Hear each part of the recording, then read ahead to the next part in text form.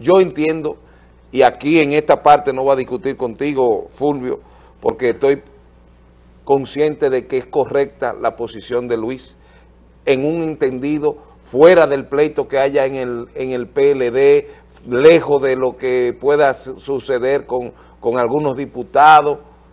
Es una forma de que yo estaba pidiendo, exigiendo que la oposición, quienes tienen mayor capacidad de oposición porque tienen los votos, la cantidad de gente, son los que deben de producir un efecto frente a la desmesurada y, y, descabellada forma de actuar de este grupo que por dinero, porque oye otra cosa, se comprueba lo que tú dijiste al principio de semana. Sí, de los 70 millones de dólares. De que tú tenías con una conversación con un legislador que te mostró la conversación y dice, mira lo, lo descarado que son, que ya lo hacen abiertamente, mira mi teléfono, y decía,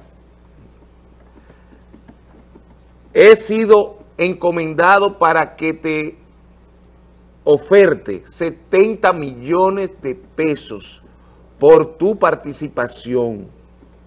Ustedes están escuchando la poca seriedad que tiene este proyecto si es que se somete, que creo que el presidente no puede seguir insistiendo, ni su grupo, porque le puede ir mal. La única forma. Y una derrota, luego de tantas derrotas pequeñas que ha tenido ese grupo, para mí fue una derrota que apareciera el secretario de organización, de general, en una locución, dando un punto de vista frente al otro grupo interno, dentro del mismo organismo, como si fuera el organismo que hablara fuera del presidente de ese organismo.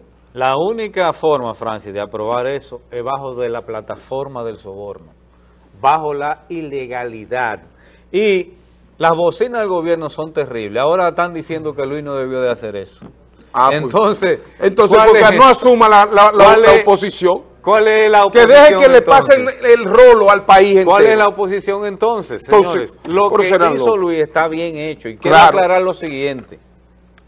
Hipólito Mejía dijo ayer que él está en contra de las remodelación de, la reforma. De la reforma y yo lo he escuchado y para mí me ha lucido muy claro lo, que él está diciendo. categóricamente ayer, que también muchas bocinas han querido decir lo contrario para buscar división dentro del PRM.